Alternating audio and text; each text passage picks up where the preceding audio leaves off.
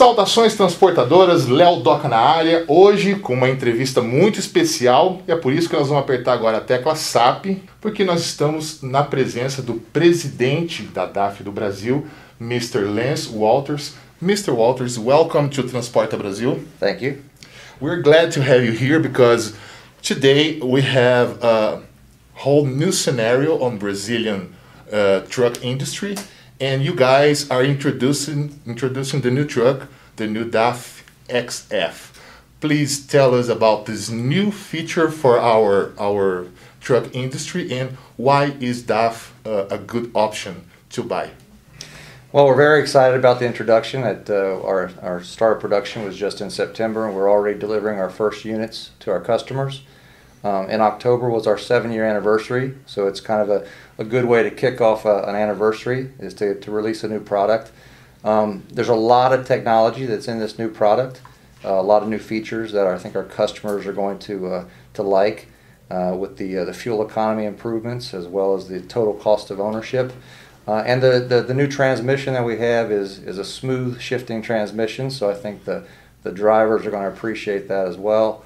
And uh, if you've had a chance to get inside the cab, it's a lot more uh, roomy than we've had in the past. And I think that the drivers will appreciate that when they're out on the road as well.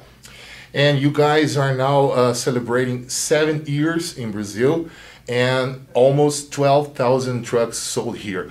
Uh, why, why do you think that DAF product, DAF trucks, have been so successful here in Brazilian market? Well, I think mainly it's because of the robustness of our truck.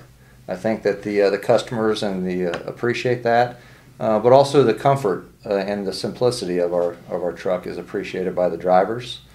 The uh, you know we when we launched we launched in a tr- strategic manner so that uh, we would we were dedicated just in the 40 ton segment, mm-hmm. and so I think we were able to apply what we're good at to that segment and uh, it's been noticed by the customers, and we appreciate that. And and uh, we've had a lot of good partnerships uh, formed over the last few years, and we expect as the same as we go forward.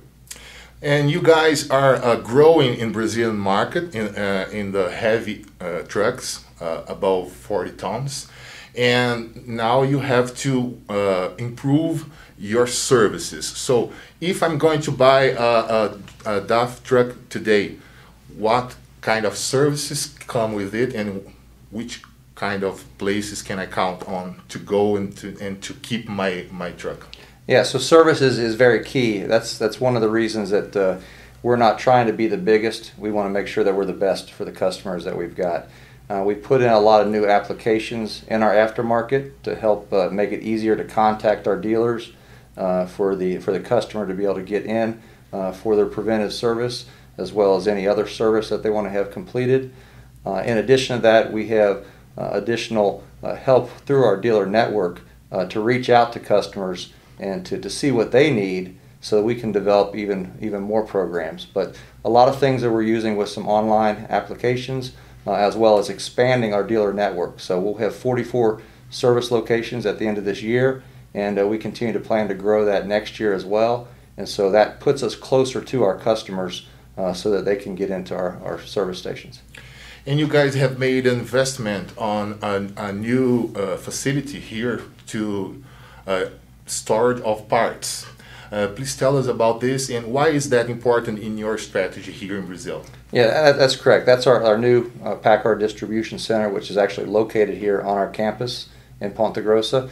And what that allows us to do is to make sure that we can uh, reach our customers a, a little quicker and so we can store more components here because there is a, uh, a large portion of our material that is imported. And so by having it available here in country, uh, we can ensure that the, uh, the downtime for the customer is, is minimized. Uh, and in working with our dealers uh, with some uh, automatic replenishment, we can make sure that actually the material is, is at the dealer when the customer needs it. Thank you for watching and I ask you to give us a like, to subscribe in our channel, and if you really transport Brazil, you keep with us here every day on Transporta Brasil on Facebook, on YouTube, and also in our website. Thank you, Mr. Walters. Thank you for being with us. Thank you. Thank you for coming. Bye bye.